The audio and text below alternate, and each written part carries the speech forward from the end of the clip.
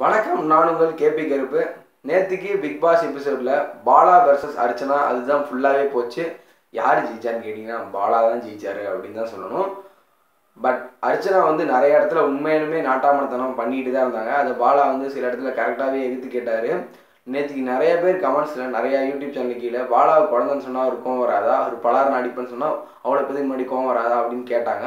அதையே நேற்றுக்கு பாலா கரெக்டாக உள்ளே பேசுகிறாரு எப்படின்னே தெரில ஆடியன்ஸ் கமெண்ட் பண்ணுறதும் அவர் பேசுகிறதும் ஒரே மாதிரி இருக்குது ஆடியன்ஸோட பல்ஸ் அவர் பிடிக்கிறாரா? இல்லை இங்கேருந்து மெசேஜ் அவருக்கு அனுப்புகிறாங்களா அப்படின்றது தெரில பட் பாலாட்ட கொஞ்சம் அரகன்ஸ் இருக்குது ஏன்னு கேட்டிங்கன்னா அந்த உட்காந்து பேசியிருக்கும்போது டாமினன்ஸ்னால் உங்களுக்கு என்னன்னு தெரியுமா? ஐ மீன் டிப்ளமேட்டிக்னா உங்களுக்கு என்னன்னு தெரியுமா? அப்படின்னு கேட்டது ரொம்ப அந்த இடத்துல கஷ்டமாக தான் இருந்திருக்கும் என்பவர்களுக்கு அவர் வந்து ஒரு கிராமத்தான் சொன்னதுக்கப்புறம் அது கேட்டிருக்க தேவையில்லை பட் பாலா அது தப்பான நோக்கத்தில் நான் கேட்கல அப்படின்னு சாரி கூட அதுக்கப்புறம் கேட்டார். அதுக்கு காரணம் சுரேஷ் தான். அங்கே ஒரு தாத்தா பேரன் ரிலேஷன்ஷிப் செம்மையாகவே இருந்துச்சு.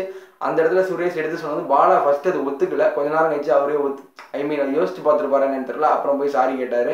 அந்த இடத்துல சுரேஷ் வந்து பாலாக்கு அட்வைஸ் பண்ணது சூப்பராகவே இருந்து அந்த இடத்துல சுரேஷ் ஸ்கோர் பண்ணார் கூட சொல்லலாம். சுரேஷ் சொல்கிற மாதிரி பாலா தன்னோட அரகன்சியும் அதனோட பிஹேவியர் கொஞ்சம் ரூடாக இருக்குன்னு கம்மி பண்ணிட்டா. ஹீ மேபி இருக்கலாம். மேபி டாப் ஃபோரில் அவர் வரலாம். பட் அப்படி இல்லைன்னா இது அப்படியே கண்ணி பண்ணி பெருசாக போனார்னா ரெட் கார்டு வாங்கினார்ல மகத்து. அந்த மாதிரி தான் இருக்கும். ஏன்னா நான் ஃபஸ்ட் சீசன் ஃபஸ்ட் எபிசோட்லேயே சொன்னேன். பாலா வந்து மகத் மாதிரி போகிறதும் முகேன் மாதிரி போகிறதும் அவரோட பிஹேவியரில் தான் இருக்குது அப்படின்றத ஃபஸ்ட்லேயே சொல்லிட்டேன். தென் அர்ச்சனாக்கு சரியான மூக்குடைப்பு. அதை ரியோ கிண்டல் பண்ணும்போது இன்னும் வேற லெவலில் இருந்துச்சு. அது சந்தான டைலர் சொல்லி சொல்லும் போது சிரிப்பு தாங்கலை. அது மட்டும் இல்லாமல் இன்னொரு விஷயம் அர்ச்சனா சொல்கிறான் ஃபீஸ் கூட உனக்கு தாண்டா அதிகமாச்சு. இப்படி பண்ணோம் எதிர்பார்க்கவே இல்லை. அப்படின்னு சொல்லும் போது அர்ச்சனா ஒருவேளை உண்மையாக இருந்திருப்பாங்களோ அப்படின்றது ஒரு பக்கம் இருக்குது அது போக போக வ வரக்கூடிய வாரங்கள்லாம் தெரியும். தென் லாஸ்ட்டாக அந்த ப்ரைஸ் கொடுக்குறோன்னு உட்கார வச்சாங்க. சிவானிக்கு ரெண்டாவது ப்ரைஸ் தான்.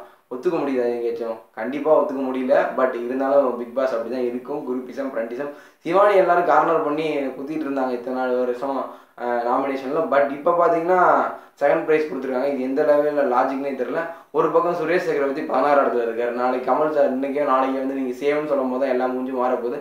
ஆறு டாப்பில் இருக்கார் ஓட்டில் அவருக்கு தூக்கி பதினொன்று இடம். பட் இதெல்லாம் போக போக தான் வரும். சமயத்தாக்கு பெரிய ஃபேன் பேஸு பின்னாடி உருவாகிட்டு இருக்குது அது யாருக்கும் தெரில இது வரக்கூடிய வாரங்கள்ல தான் தெரிஞ்சுக்கிட்டே வரும். ஸோ பிக் பாஸ் இப்போ நல்லாவே சூடு பிடிச்சிருன்னு சொன்னால் நாளைக்கு உங்களை இன்னொரு வீடியோவில் வந்து பார்க்குறேன். Until then bye bye from KP Karuppu